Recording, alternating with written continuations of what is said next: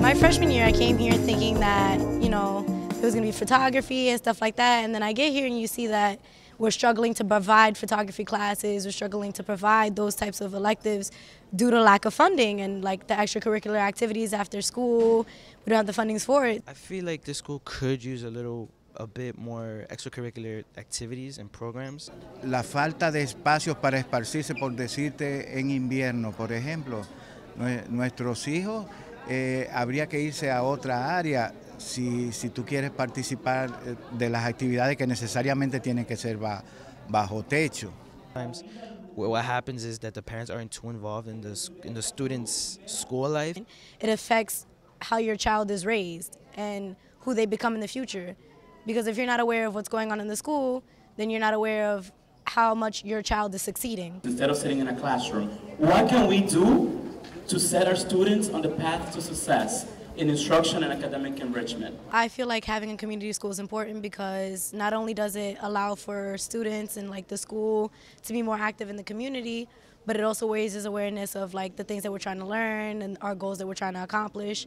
It provides awareness that certain schools do need funding and it may provide an opportunity to find those fundings for programs like photography or dance or things of interest to students here. And one of the things that we want to do with our community schools is that we really want to connect the community, the school, and the family, right? Because family comes first, right? These children come from family. They don't come from a school, they don't come from a community. So we want to concentrate with the families. La los problemas de la comunidad, de la familia, del hogar, inciden eh, infinitamente en, en, en, la, en, la, escuela, en, el, los muchachos que salgan de aquí, no solo se van a llevar lo que aprenden de la escuela, sino lo que absorben de la, de la, de la comunidad. The home is very important. What happens at home is key to what we do here and to the outcomes that we gain here. So we want our parents to be our sounding boards. We want our parents to be um, the same way that they demand excellent customer service at their supermarkets. We want them to demand excellent customer service from us. We're looking at our community, seeing what's out there, seeing what our kids need, and matching it together. When I see this school, I do think of it as a place to learn. You come here and you get your education so that you can succeed later in life. But I, and I do also say it as a safe haven, as a place where you can kind of get away from all the bad stuff that can be in the streets, especially in the neighborhood like this one. And you come to the school, and you learn, and you're in a safe environment. But you know, it is a place to learn. You're expanding your mind. You're expanding. You're gaining skills that you need for the real world, and it's preparing you for real life experiences like moving out, going to college, being on your own, dealing with expenses and different things like that. Eh, y es obvio porque la escuela no, se, no es ajena a los problemas de la comunidad, ni a las virtudes de la comunidad, ni a los problemas, re, repito.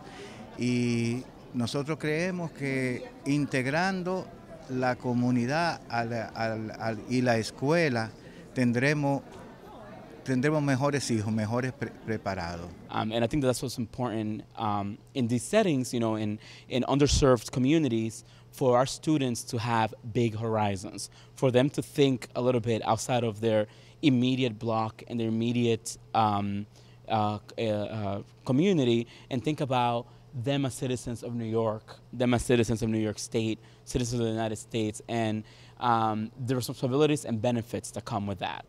I just hope that, you know, that we have um, more interest in school, that these kids become more involved and the community becomes more involved, just so that we can maintain that interest in school and have a higher graduation rate. We're taking young people and we are encouraging them to expand their wings, to really think about flying, to think about going forward, to think about um, improving their chances in life.